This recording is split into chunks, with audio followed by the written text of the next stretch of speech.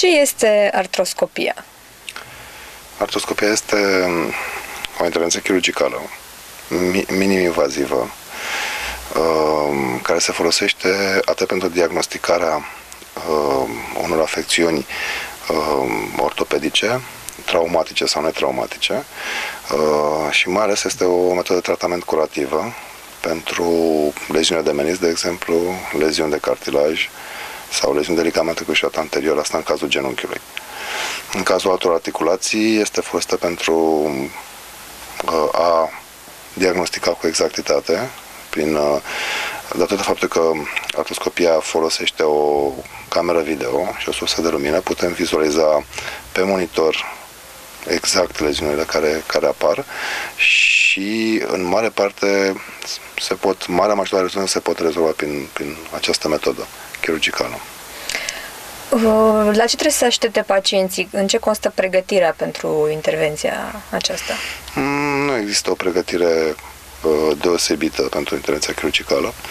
În principiu, în funcție de, de leziunile existente, genunchiul sau articulațiile respective pot să sufere prin de exemplu, prin umflarea lor, putem să avem un genunchi umflat, ori un genunchi uh, imobil, dureros.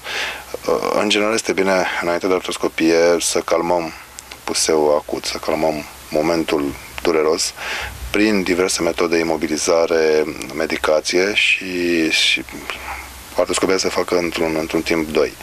În general, pentru artroscopie nu există o pregătire deosebită. Iar uh, postoperator? Este o intervenție, în principiu artroscopia este o intervenție de one day surgery, de o singură zi de internare, uh, cu o recuperare rapidă, uh, datorită faptului că este o intervenție minimal invazivă, leziunile de, de incizie prin care pătundem cu, cu camera video sunt foarte mici. Recuperarea este una rapidă, în general, și evoluția în general este una foarte bună. Există anumite, nu știu, există articulații la care nu se recomandă artroscopie, adică, nu știu, niște cazuri în care nu se poate folosi? În general, artroscopia mă rog, nu se poate folosi pe articulațiile foarte mici, eu știu, articulațiile degetelor de la mâini sau de la picioare. Se folosește pentru majoritatea articulațiilor, inclusiv uh, umăr, glezna, pumn. Uh, poate rezolva probleme strict articulare. Nu se poate folosi o artroscopie decât într-o articulație și nu, de exemplu, pentru o fractură sau pentru altceva. Deci artroscopia este strict adresată articulației în, în ortopedia. Um, Există o recomandare de vârstă pentru așa ceva sau nu? Nu, nu. Adică uh, copiii pot și copiii pot beneficia de, de partea artroscopică și persoanele în vârste. În general, um, mai ales la persoane în vârstă, este o intervenție uneori foarte bună, fiindcă uh, timpul de intervenție este unul scăzut și atunci uh, probleme anestezice posibile sunt reduse la pacienții în vârstă, cum spuneam, cu diverse afecțiuni asociate și atunci riscul, riscul uh, anestezic este unul mai mic. Uh, în general, la persoanele în vârstă, este posibil ca leziunile existente să depășească indicația artroscopică, să, nevoie, să fie nevoie de altceva. Dar dacă se încadrează în indicația uh, de artroscopie, se poate face fără nicio fel de problemă. Și cum uh, se poate stabili dacă este nevoie de o artroscopie? În primul rând, o examinare clinică cu stabilirea unui uh, diagnostic prezumtiv prin această examinare clinică, uh, la care uneori este nevoie să asociem și o investigație imagistică. De multe ori folosim, uh, folosim RMN-ul pentru a completa diagnosticul clinic. Dacă diagnosticul clinic este evident, sau uh, este probabil, cu are o probabilitate mare, atunci nu este nevoie de, de investigație imagistică și trecem de la artroscopie, care este și diagnostică, așa cum spuneam mai devreme.